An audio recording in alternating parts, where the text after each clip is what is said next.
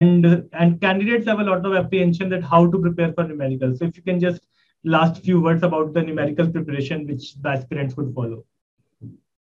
So I think uh, like practice is the key there so yeah. i uh, like for the account for me accounting was new so i uh, tried like practicing i practiced much more difficult numericals as well like even in the booklet if the, they were in the ca mm. booklet or elsewhere i could find some accountancy so i did much more difficult ratio and everything like i tried to do that so you can do that like gain an expertise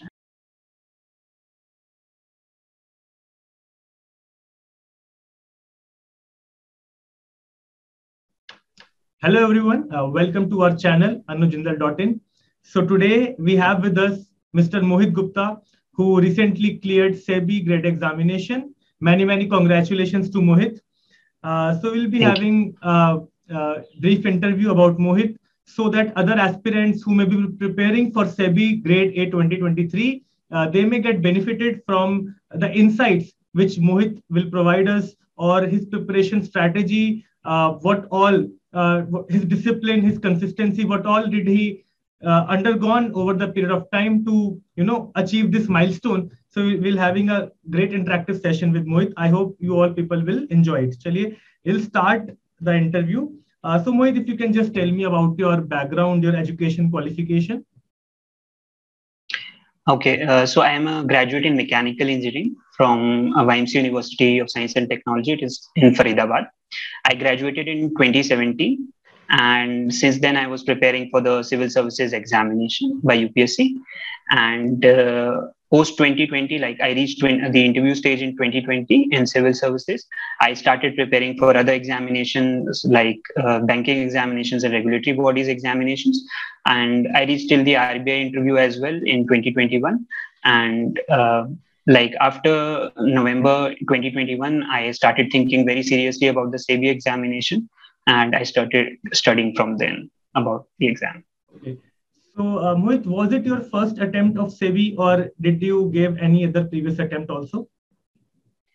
I think I gave uh, one more attempt, like uh, in 2018, I think. Uh, bef- uh, at that time, there was uh, the specialized subjects were not there in the phase one, at yeah, least, yeah. as far as I remember. Uh, but I was not very prepared for that exam, and I gave it very lightly at that point because I was much more focused on the UPSC prep back then. So I gave it much like this was my first serious attempt, I would say. And yes, as you mentioned, into 2018, the syllabus was entirely different. It was entirely securities market. So in some yes. sense, we can say this was your first attempt as per the new syllabus, you would reckon. So that's yes. a great achievement, uh, like acing the exam in the first attempt itself. Many, many congratulations. So, Thank uh, you. Uh, uh, so Mohit, uh, if you can just tell us uh, your preparation strategy, like for phase one and phase two, like how did you allocated your time or like how did you manage your time and gave time to each subject because there are six subjects in phase two paper two and phase one paper two. Yes. Okay, uh, so uh, there are six subjects in the six core subjects are there, of which accounts, cost and management accounting, and some portions of finance. They were like completely alien to me. I had never studied them, uh, especially accounts and company law. Like uh, I had no idea and for accounts so i started with these subjects first because these were the biggest hurdles for me. For finance economics i had some background in the upsc preparation so i could cover it from there. And for management also i had some background with the rbi preparation. So that was there. So first of all i started with the accounts and i had no knowledge whatsoever about accounts and didn't know credit debit rules basic accounting entries nothing. I i have never i had never studied it. And i had seen credit debit only in my bank passbooks and so on so now here uh, my brother he is um, like he's uh, in the final uh, stage of his company secretary examination. So he referred me to uh, the accounting books so he referred me to the ncrts and also the the reference books. I think they are by ts Grewal uh, i yeah. think if i remember correctly.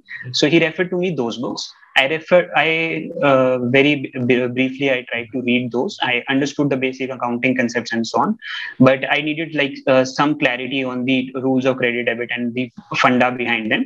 And for that, I refer to YouTube videos. So there are uh, some teachers uh, who study, like who impart teaching for the class 11th and 12th students, very basic, very clear, concise. I could understand it from there.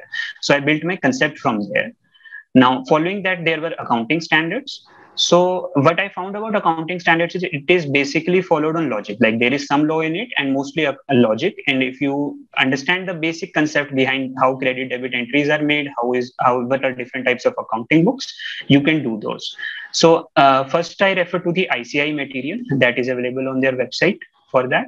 Uh, then uh, I again for that uh, to make it a bit more concise, I refer to uh, the YouTube videos, like for an explanation, but I used to keep the ICAI material as a reference and solve some questions from there only to see if I can do that. So that was my strategy with accounting paper. And then uh, if I move on forward to the finance paper. So fi- in finance, uh, there are many topics like which are uh, part of the GS3 or economy syllabus in the UPSC uh, examination, inflation, financial, and basic over- overall framework is there in the that syllabus. But uh, some things like uh, they are needed very deeply for the SEBI examination. So I refer to the NISM booklet for that. it is the I think I'm not able to remember the exact uh, the course securities market foundation workbook. So I refer to uh, that booklet and I read it and I I wanted to be like sure about all the concepts I know about depositories and everything uh, to the core. So that I did from there. And other concepts like the time value of money or bonds or a different type of numerical concepts and others. Uh, for them, I had some like preparation from the RBI, from the Prasanna Chandra book but I also refer to some notes that were available or uh, some YouTube videos again for those if I wasn't able to understand a particular topic. Uh, then coming to the company law. So for company law, again, like my brother, company secretary, he referred me to uh, where he studied from. Like it is the foundation level is only needed for the CACS examinations. So he referred me uh, to the teach, like to the videos or the coaching material that he was referring to. I watched those. I made my notes from that. I for the first time it was like I watched it at full uh, giving it full time, understanding different things, because it is not just about remembering the fact; it is also about understanding the things like equity share, preference shares, IPO. Everything is can be a bit confusing. So I used to discuss it with him, and he used to solve some doubts regarding that. Uh, but basically, I watched the videos, I made the notes, and uh, after that, I just referred to those notes. Like I referred to those notes five, six times. I tried to remember the articles, the provisions, like for instance, penalties and all. Uh, I had read them enough times that they sort of got ingrained. Like I had an idea, I could attempt the questions from them. So company law, I did like that. Uh, then we have the economics uh, part. Now, uh, the economic and economics part was uh, like in the phase one, I went uh, with an idea that, okay, I have studied economy for the UPSC syllabus and that will do like there will be one two technical questions regarding phillips curve and all uh, but i can manage those. And i gained some superficial understanding about say newer topics like islm curve from uh, online. But uh, like it was an eye opener that uh, economy is not the same as that. Like it is very technical in nature in sebi examination. Also the level of the paper was also significantly higher than previous exam so I focused on the economy part in the phase two, uh, preparation to the phase two. So for that, uh, I knew the basic framework, but I had to know about the exact technical details, like what classical model is, what Keynesian model is, what does ISLM curve um, show, and what does what is its use, what is its implication. Everything I had to do in detail so for that again i refer to youtube videos. Like uh, there's a there are youtube videos uh, i would search the concept and then see the youtube video and i could uh, add up on that. Now that worked uh, well because like i had the b- basic knowledge behind it basic concept behind it. So i just needed some additions for the technicalities. So in the economy i did that. Uh, cost and management accounting uh, for the cost and management accounting, there are many concepts that were part of the mechanical engineering syllabus as well. So I had some basic introduction because these things happen in industry and uh, in the operation research. So some things, some concepts were taught. So I had some sort of familiarity with that for instance, economic order quantity, marginal costing, and some of these questions there were there. But uh, so uh, for that, what I did was I again referred to the ICAI material. The, that is available on the website for cost and management accounting. I downloaded that and topic wise, I uh, used the syllabus and um, the only difficult topics in the uh, cost and management accounting that I found was personally was the uh, variances in the standard costing. Mm-hmm. I wasn't able to understand those directly from the book. So for them, again, I refer to YouTube videos to get the concept behind them and a way to remember the formulas more easily. So that I did. So I think I covered the six subjects there. Yeah, yeah. I think it's finance. Yeah, management. Uh, management. Uh, management is left. Sorry. Yeah. Yes. So for management uh, in the RBI, I had done. So the topics are broadly similar. Like RBI, mm. I think has something, uh, some extra topics, but uh, the basic is same. Yes. So for that, I had referred to the organizational behavior book by Stephen P. Robbins and Timothy A. Judge at that time, and I had highlighted that, annotated that, and so like I had, if I could uh, look at the book again, I could in, uh, complete it in a shortly short period of time. So I used that book again for the SEBI examination, and moreover, I practiced like uh, some questions um, because uh, the questions were a bit tricky in the phase one as well, and phase two was also very tricky about the language. So I just uh, try to follow the logic uh, behind what is written and uh, I try to solve the questions from there. Yes. So one thing which Mohit I would like to tell the viewers that he mentioned something about Companies Act that it is not only about memorizing the sections or the penalties. Rather, he firstly focused on understanding the concept like what is preferential, what is IPO, what is book building method. So that is very essential because we fall into this, this trap that only remembering the facts in the Companies Act would do, but that would not do ultimately because the questions are not that straightforward also.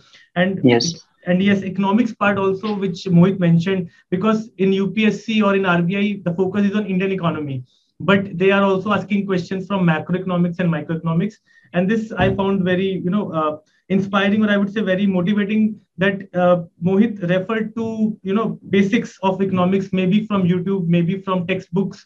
So that is very essential because economics, as I was teaching also on YouTube, I was uh, coming into that conclusion that economics is a weaker part of most of the aspirants and especially the micro and the macro part. So uh, this is one thing which yes. we need to focus upon, especially if we are from non-commerce or non-economics background. Okay, Mohit. So yes. that was explained in much detail by Mohit. I hope that would help the aspirants a lot. So Mohit, I would like to know that uh, uh, did you refer to any specific material of any institute or you just refer to random sources as you just mentioned?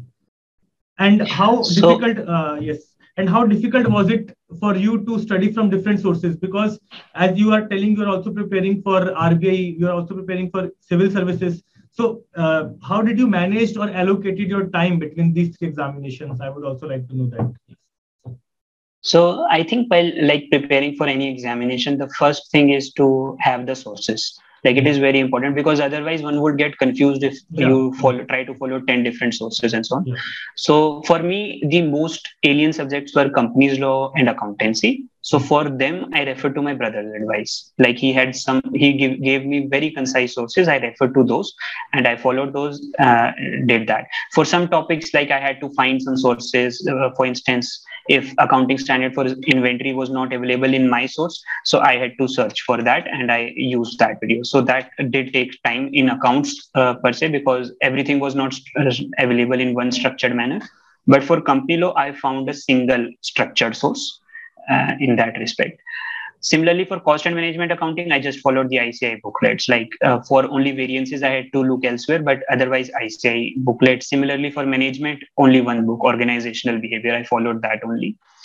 And uh, lastly, like uh, for economics, as I told, like I had the basic uh, concept with me. I just had to follow it up with the so that for those, I also follow, I found a particular like very good source and I used that one. So that was sufficient for me. Yes, and uh, like, uh, how did you allocated your time since you were preparing for only examinations, but you were preparing for multiple examinations, so you must have to allocate time for you civil services and between SEBI and RBI. So, what was your uh, schedule of the day? Okay. Uh, so regarding that, what happened, uh, what was there was like I was uh, maybe falsely very hopeful about my result in either of the examination. It is a feeling when you have like I had the RBI interview as well as civil services interview in 21 and i was hopeful like at least one would i would clear but i didn't clear both of them in like it was uh, in september that both the results came out. So after that my immediate priority was to uh, get a job. Like it was my immediate priority. So i started preparing for the banking examinations as well. And i wanted to uh, get sure uh, like hold of something by October, November, December. I wanted to be in that process. So I put the UPSC on back burner for that then. So for UPSC, what I used to do was like I uh, woke up in the morning, I'll read the newspaper, I'll be in touch with that. My optional subject was political science, so I like I kept the, those notes, notes updated.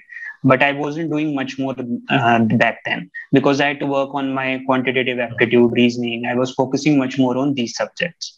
Yeah. So I gave the banking examinations, and I like I was uh, I cleared the SBI PO as well that year. So uh, I was giving those examinations, and then uh, like when SEBI notified, I was uh, aware that SEBI might come, and I was not satisfied like with just the banking. So I had it in mind that I have to ultimately go to the regulatory examinations because I had studied a lot. Uh, like I wanted to put it to good use there. So I there were like uh, there was an there was uh, some it was expected that sebi would come out with its notification. So i in november uh, i started preparing but it was not like i was giving it full day because i was mainly preparing for the uh, quantitative and reasoning aptitude for the banking examinations. But i was giving 2 3 hours like daily to the uh, SEBI uh, concepts, the accountancy company law, mainly those, these two subjects. Then when the notification came, I think in February or Jan, I don't remember, but when the notification came, I switched full time to uh, SEBI because I had already also progressed in the SBI examination. Uh, SBI also, I think the uh, the second stage happened in January, so I was comfortable there. So I fully focused on SEBI for the phase one, and uh, I gained sufficient confidence that like uh, I, I covered all the concepts. I gave full like I had a friend with whom I was working. We were keeping targets uh, every daily targets. Mm-hmm. We were working like as long as we could, and we were totally focused on SEBI. And uh, then I like cleared the phase one examination. Yeah. So in between there was one month, and again like uh, I had something going on regarding the UPSC, so I was a bit diverted again. Like eh, after the phase one, I got a bit diverted, but then when the result came, I, it again struck me like it is, it is very important to do this right now. So again, I shifted uh, fully to the SEBI and did uh, whatever lacuna is that I had. So it was a bit of like shifting here and there but uh, so but it was never like uh, away from the back of my mind i was always oh. doing like if yeah. two days i didn't do then okay i'll make it a point that i okay i should do this so it was uh, like that yeah. juggling so, a lot of things yeah but yes. uh, apart from juggling what i am able to you know uh, comprehend from what you have told is that uh, your uh, study was a bit consistent i would say because you started small you started for 2 3 hours a day but still you were consistent enough and you switched full time so this is important that it's not that you have to give 8 or 10 hours a day you know studying the same yes. uh, same for same exam but you have to be consistent. That is more important. And one thing more i like appreciate about mohit is that i also mentioned in one of my videos that if you are preparing yourself uh, it's better to study in a group because you get a constant push and motivation from your friends. You set daily targets. So this is i would say it, it would be very helpful for all the viewers out there who are planning to uh, prepare on their own that if you can form a study group sort of a thing where you will get daily targets you will give daily targets to your other colleagues and friends that will i think help a lot and as you have live example of mohit also that these things work actually we take them very lightly sometimes but yes these things are these basic things are important in life it's not any rocket science that yes. you have to follow that was really uh, i would say nice uh, and that would uh, give a good insight to our viewers so okay so that was okay, uh, i like to yeah. add one thing on that yeah like yeah. for the time management thing when uh, one reads like for the first time for like for the first time when i was reading the company law it was very easy to give long times like i could maybe four hours five hours six hours i could give. Like it, it was theoretically and practically also possible that i could give that much time because when you are uh, uh, like i was not uh, trying to remember anything. I was just trying to understand. I was going with the flow uh, whatever uh, the whatever it is being taught or whatever i am reading. So that is very like in initial time okay. But when it is very intensively about uh, memorizing then it becomes a bit difficult to give longer times because then it is important to give qualitative time. So for that for instance if you had a two hour session of just like revising and revising and revising the company law then it becomes like you can get exhausted. So that is there is a difference in uh, that as well. That yeah. yeah that that that's a good point Mohit. so uh, i would like to ask one thing more that did you get enough time for revision or and if yes so what was your revision strategy? Because i found that uh, we as uh, aspirants or as candidates we are not able, we do not revise in a proper manner. Actually there should be a good strategy for revision as well. So if you could share your revision strategy something like that okay yes. So the revision strategy was totally like dependent on my notes. So because i was referring to the books if i refer to the books again and again it wouldn't be possible. Revision like it will be very exhausting. Yeah. Yeah. so i made notes. Uh, most importantly like for company law i had notes i could revise them again and again so i could revise them five to six times i could revise them a day before mm-hmm. phase one i could revise them a day before phase two as well similarly for accounts some things that were not like in my domain so initially i started to write those things for instance yeah. if I started like AS2 inventory. So I made a brief note on what uh, which which thing comes because I was not like very uh, sure on how how things are dealt in accounting. Mm-hmm. So I used to write, okay, this will come on credit side, this will come on debit side. This is the rule. You have to follow this technique. Uh, you don't follow this technique. Similarly for depreciation and stuff. So I tried to make those notes, but ultimately, like for the later topics, it wasn't uh, as much required. So I highlighted and annotated on the material itself. But it was very important to revise because you t- tend to get uh, even if you have the concepts clear like uh, if you are not in practice it becomes difficult to recall and yeah. in the actual examination i found the time was like because the questions were a bit complex they were not direct also maybe they were a bit lengthy to read yeah. this yeah. so it was a time constraint situation and recall value is a, like it matters a lot. If yeah. you have read company law and you do not recall it it doesn't hmm. matter uh-huh. like so hmm. uh, for that revision was very key. Hmm. I depended on the notes and i make like notes in online on my laptop only because I, mostly i'm reading from there. So those i used.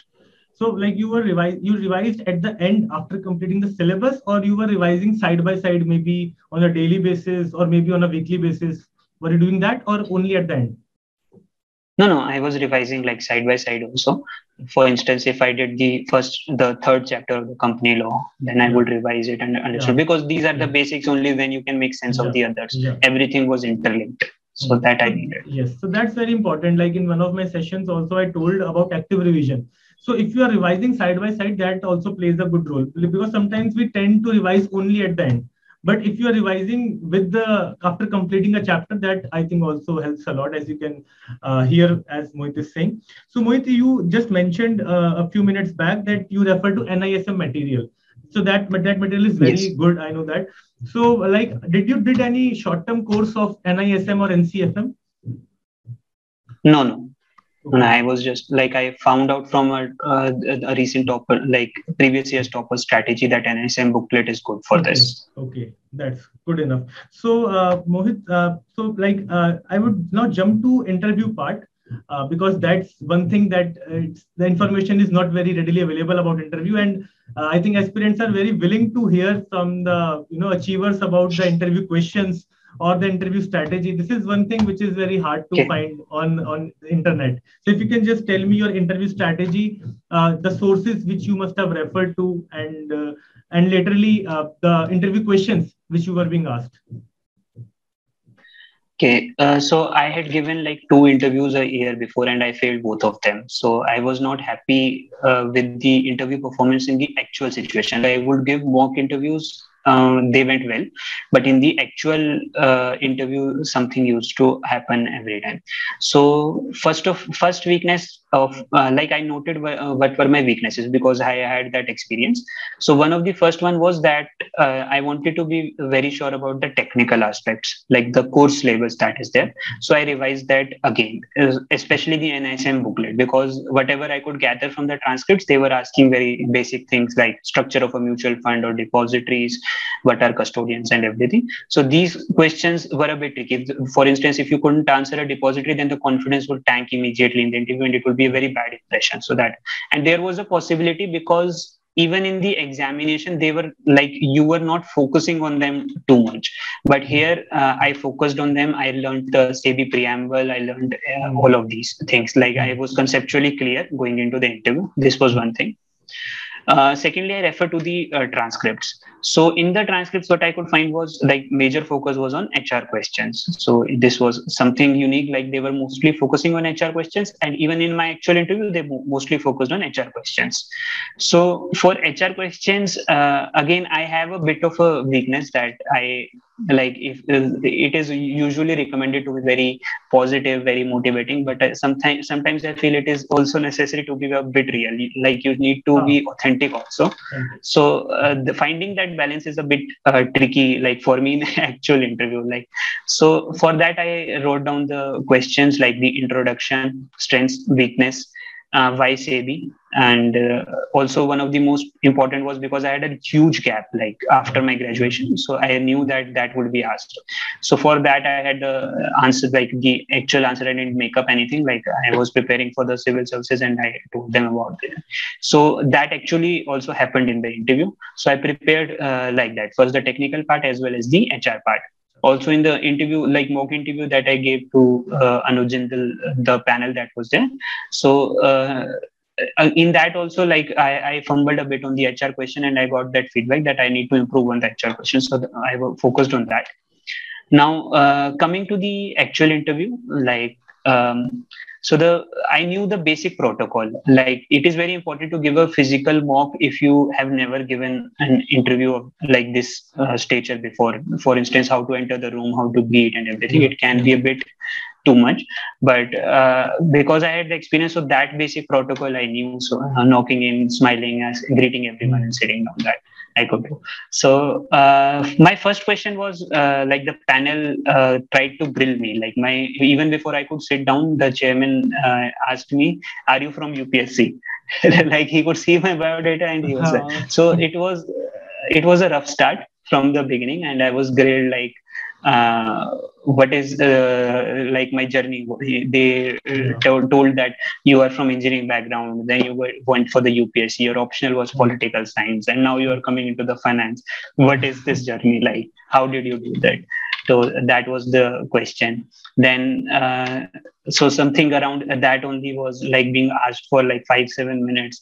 Then the other member also started asking like which department would you like to work in? What would sebi get from you why should sebi hire you rather than other person? So what would you give? And uh, even the third member again like uh, what was your motivation behind upsc and what would uh, how would that translate into sebi like how would that motivation for like i told like i wanted to be in public service and that. So how would that translate to sebi? Because sebi is such a specialized. So these types of uh, questions were there.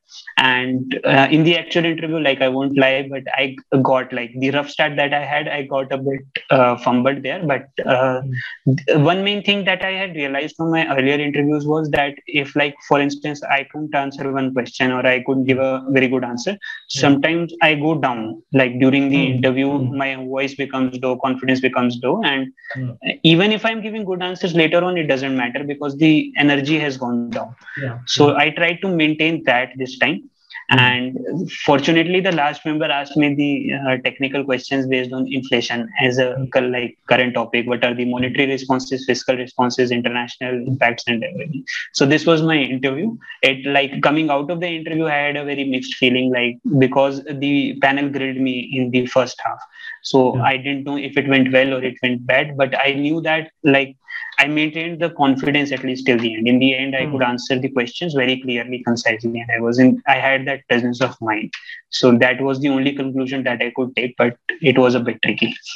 Uh, so, but one thing I would like to repeat, as Mohit said, that he prepared well for the interview. That is one thing I would say yes. that uh, we have sufficient time, but we take it for granted that interview to kar lenge. So, like specifically, he mentioned he prepared for HR questions, and that is very very essential because you know technically we are studying, we know concepts, we cleared phase one, we cleared phase two, so we have some good idea about the technical aspects. But HR is one thing where we have to prepare. Like Mohit mentioned that he jotted down certain questions, their answers. Okay, so uh, you know uh, sharing or just uh, speaking those answers to maybe to your friend, to your father, to your mother, or maybe in front of a mirror. That helps a lot. So that was one thing I think would have helped Mohit a lot, and that other aspirants could also follow.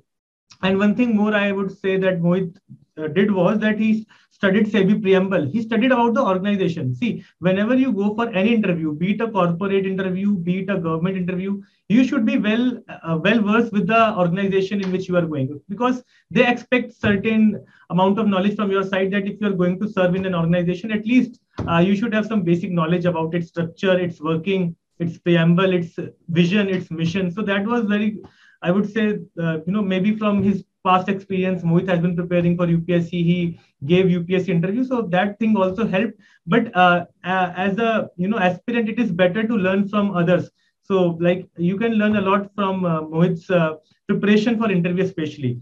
So I think that uh, that would have added a lot of value to all the viewers out there. So in the last, I would like to say that if Mohit, if you have some final words uh, for the aspirants out there, if you can just give some final advice, some final words of uh, uh, you know motivation encouragement okay because people are very very apprehensive that exam is difficult or we, we won't get enough time or whatever maybe there are different concerns of working aspirants and non-working aspirants. So just uh, some final few words, Mohit, you can. So, uh, like, I can give advice to uh, aspirants like me, like who had a UPSC background, maybe a gap year and so. So, I had seen the SEBI notification the earlier year as well when it came with the changed syllabus, and yes, I was also like intimidated, intimidated about about it. Like, who will remember company law and accounts? It was because if you don't have the background, it can be intimidating and it can be like it's uh, not my cup of tea. Like, I skipped it that year. So okay it is not an examination uh, that you can give uh, without uh, forethought planning or uh, like preparation. You have to plan for it. If you want to seriously give it then you have to take some time before the notification come comes out if it is not your background. This is the, the uh, one thing. Secondly if you had been an upsc aspirant like if you couldn't clear that.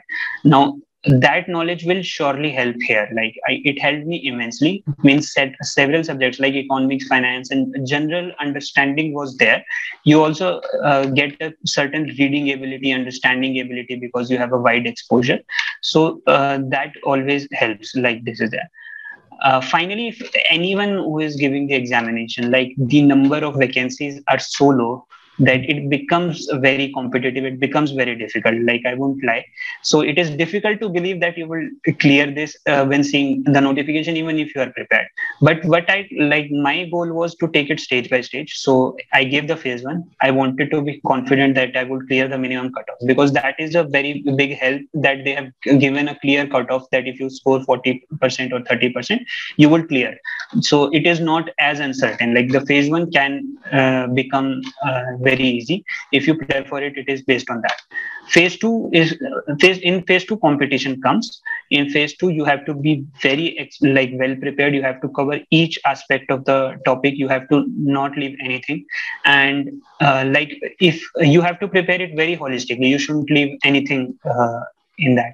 So, for instance, if the phase two of the previous year, if we compare it to that, the phase two this time was very different. Like it was much more technical. So, if someone went into phase two thinking about that, then that would work. So, for me, I I was expecting like after phase one because phase one was, was also a bit difficult. So I was expecting that phase two will be difficult, and I wanted to be like very sure of everything. So I did company law. Even if I missed some things in phase one, I completed them. In economics, I realized that I had made a mistake in phase one. I did that. So uh, one has to be very sure. Like in phase two, you have to give your absolute best performance, and after that, like uh, taking that stage. And I was very happy with clearing phase two itself. Like for me, uh, reaching till the interview stage of such an alien examination, like uh, an entirely different syllabus, it was a big achievement for me. And like uh, clearing the whole examination, it's a cherry on the top. Like it's it's the final vindication. Okay, I did something because then only it, it means anything. But even reaching till the interview stage was like was like a big thing for me. I think till the interview stage, if you prepare well, if you plan it well, I think it is in your hands. But uh, maybe after that it uh, it gets the competitive part the luck part or the uncertainties start to kick in. But so th- that is the motivation that you should uh, be uh, like you should take it stage by stage. You should believe in yourself take a leap of faith do everything that is there in the syllabus. And only then maybe uh, magic happens. So i think with that one thing was skipped which came to my mind recently that uh, how did you prepare for the numericals? Because numericals was, one thing which was there. I think 20% questions were from numericals in phase two, and and candidates have a lot of apprehension that how to prepare for numericals. So if you can just last few words about the numerical preparation which the aspirants would follow. So I think uh, like practice is the key there so yeah. i uh, like for the account for me accounting was new so i uh, tried like practicing i practiced much more difficult numericals as well like even in the booklet if the, they were in the ca mm. booklet or elsewhere i could find some accountancy so i did much more difficult ratio and everything like i tried to do that so you can do that like gain an expertise to try to like even uh, in in the examination i found that the logic was not like very difficult for the numericals. They were a bit lengthy. It was uh, li- like you had to navigate the language and the data, but the logic was very simple. If you had the logic, you could do that. But it would become tricky if the uh, if you're not able to recall in time because the time was very limited. So for that, I think practicing more difficult numericals than are actually asked that can help. Uh, that maybe help me. Practice is the key there. So thank you very much, Mohit. Uh, with that, I think uh, we can uh, conclude our interview. So yes, uh, like a final few words from my side for the aspirants out there that uh, see, even if you are from non-commerce background, even if you uh, you know preparing for UPSC or RBI and the exam was if the exam is alien to you, still also you can clear the examination, provided that you know you do the requisite hard work and be consistent as I can see in Mohit preparation that he was consistent is and he was managing his time very well. So that's the key here. Manage your time and manage your focus. I think uh, that's the key to yes. Mohit's success and i think that can uh, help others also. Uh, and i hope uh, you viewers out there will be taking a lot of insights and key points uh, from this interview. Okay guys so thank you very much. Thank you mohit for sparing your valuable time. I thank hope you, sir. Uh, thank you. yes i hope your words your strategies would help our aspirants a lot. Okay. Thank you very much, guys. Thank Thanks you. a lot. Thank you.